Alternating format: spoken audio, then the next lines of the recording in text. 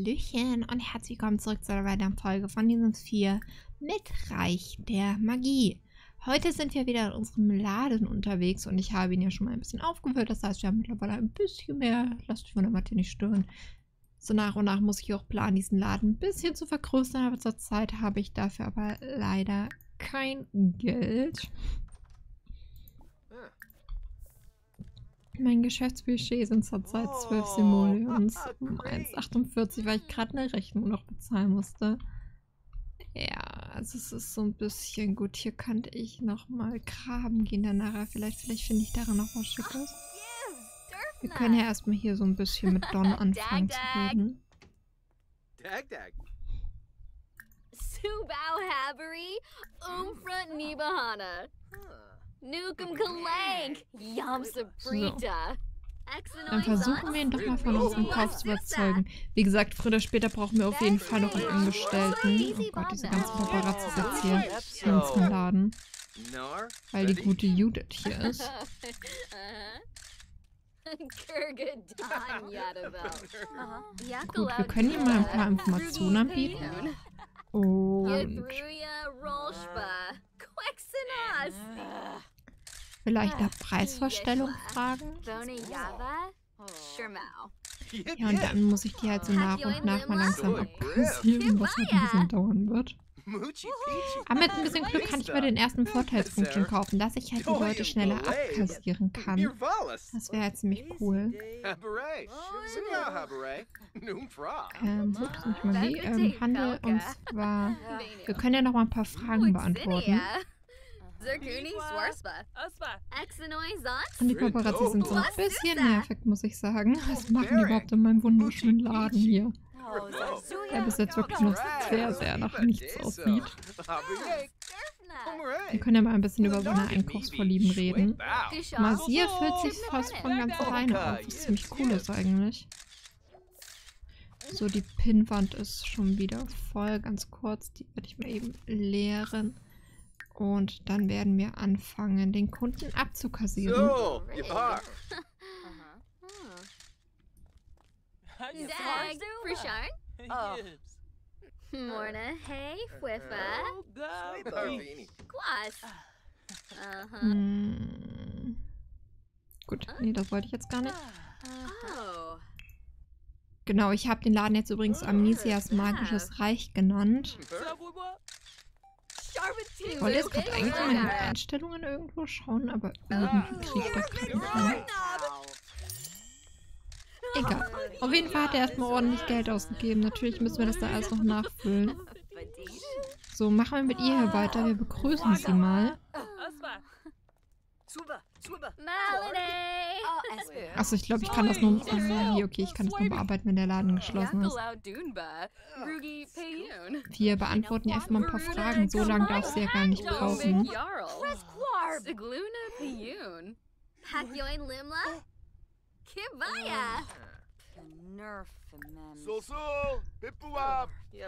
Sehr schön. Sie interessiert sich also für den Besen. So, danach kassiere ich mal hier unseren Superstar ab, damit Madame hier rauskommt. Ja, jetzt ist das Problem, ich kann mit ihr nicht mehr reden, weil sie halt berühmt ist und ich nicht. Und deswegen kann ich mit ihr auch nichts mehr machen, als sie irgendwie hier stehen lassen, was ein bisschen blöd ist, ehrlich gesagt. Dann rede ich als nächstes mit ihm hier. Was für eine ausgezeichnete Wahl. Welche Ach, sie kauft von ganz alleine. Achso, sie kaufen alle von ganz alleine. Ja, dann kassieren wir sie halt beide ab.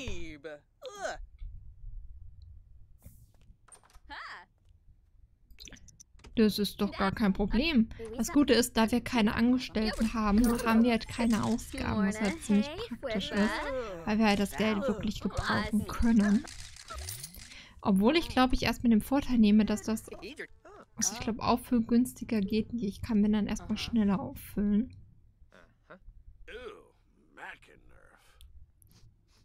So, ähm, gut, die beiden sind weg, dann... Ach, ihr seid alles Paparazzis. Gut, dann begrüßen wir dich erstmal. Oh ja, ha, die Toilette. Ja, ich muss hier das langsam wirklich ein bisschen ausbauen.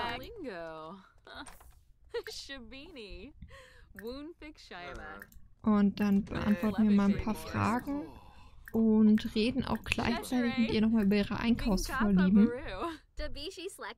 Ja, spätestens wenn ihr alles leer ist, müssen wir eh aufhören und zumachen.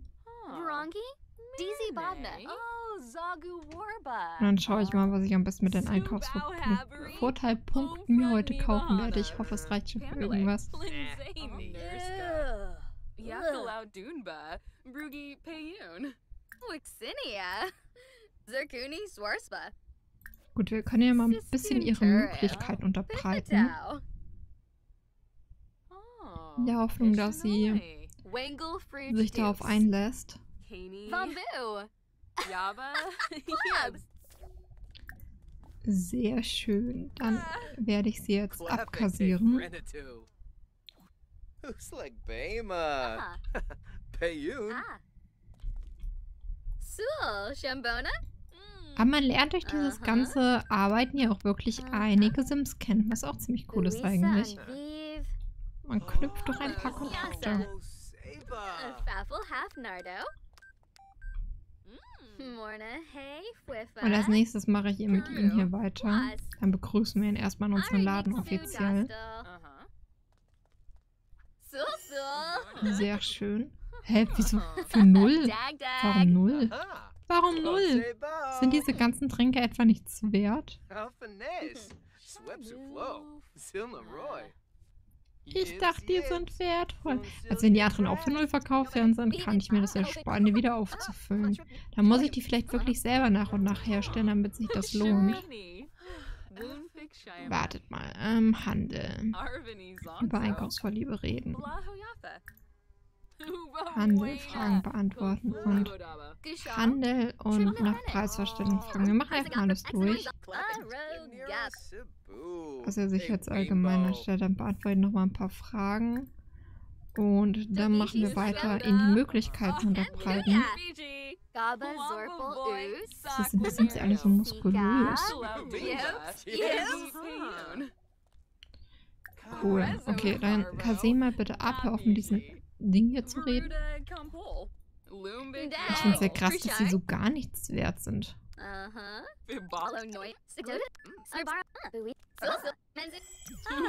Ja, tatsächlich. Also die sind... Na gut, dann kann ich die auch entkennzeichnen. Wenn ich mit denen eh nichts machen kann. Niara. Was sehr, sehr, sehr, sehr schade ist. Ja, stimmt. Ich kann die auch für null verkaufen. Ich glaube, ich muss die wirklich selbst herstellen, damit die was wert sind. Aber gut, am Ende ist man immer schlauer. Dann muss ich mich ja doch bemühen, die Sachen nach und nach selber herzustellen. Dazu. Ah nee, so einen Trank brauche ich gar nicht, weil die gibt es ja auch im Reich der Magie. Gut, wir werden sie jetzt abkassieren gehen. Eigentlich wäre sie zuerst dran gewesen. Es ist auch schon mittlerweile wieder relativ spät. So, zwölf Simoleons, immerhin etwas. Genau, und hier werden wir noch ein paar Fragen beantworten. Wir werden über die Einkaufsvorlieben reden. Ah, so, du bist schon fertig. Okay, na dann. Ich muss jetzt mal gucken, was waren denn noch die Tränke? Ich glaube, die werde ich nicht wieder auffüllen. Zaubertrank, genau. Schild entfernen. Huh. Ähm, du kannst du ruhig abkassieren gehen.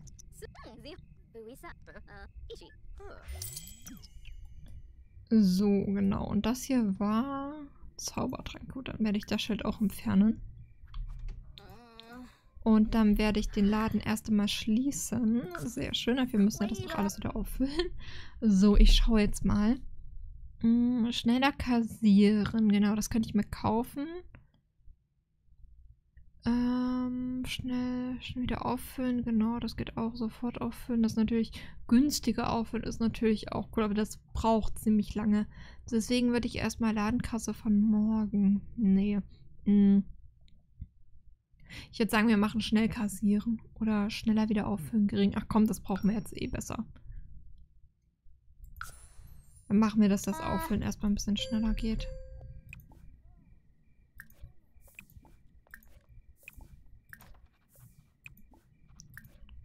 Genau.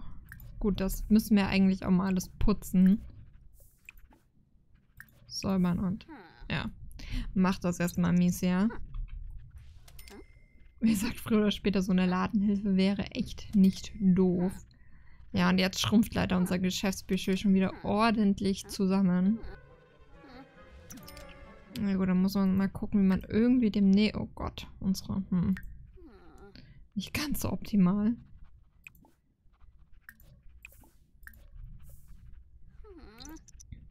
Komm, wir lassen das jetzt mit dem Putzen erst einmal. Du füllst mal die Sachen wieder auf.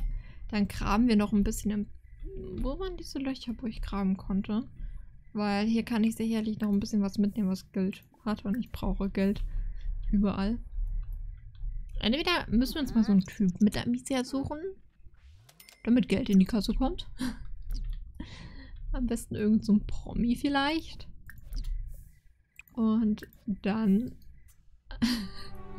haben wir Geld oder wir müssen irgendwie, ich weiß nicht, Lotto spielen. Aber das ist ja auch sehr gewöhnliche Tuning-Teile haben wir gefunden. Ach, Emily, okay. Äh, Zeitkapsel, na gut, die bringt wenigstens 70 Simoleons, was gar nicht mal so schlecht ist. Und die Tuning-Teile verkaufe ich jetzt einfach auch. Und Amicia, ich würde sagen, wir fliegen jetzt nach Hause mit dir. Ah, nein, du fliegst nicht. Du musst das noch graben. Grab das. Oh. Fühlt sich so unwohl, das zu tun. Ach, Amicia. Whoa! Ooh, narful. Gut, wir kehren aber trotzdem zurück nach Hause und zwar alleine. Weil du brauchst wirklich jetzt eine Rundumversorgung. Also ihr geht's wirklich überhaupt nicht gut gerade. So, gut. Dann würde ich sagen, gehst du schnell mal auf die Toilette. Du nimmst dann mal eine erfrischende Dusche und dann nimmst du dir noch ein bisschen was zu essen. Felix ist ja auch noch hier.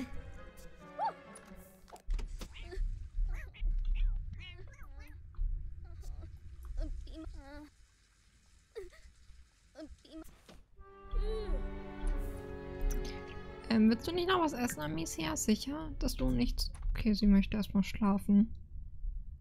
Wow, es ist schon richtig früh.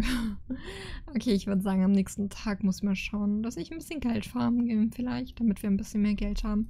Damit wir, wie gesagt, im Laden ein bisschen mehr vorankommen. Und ähm, willst du ähm, in der Launcher angeblich eine Berühmtheit sein? Nee, gerade nicht.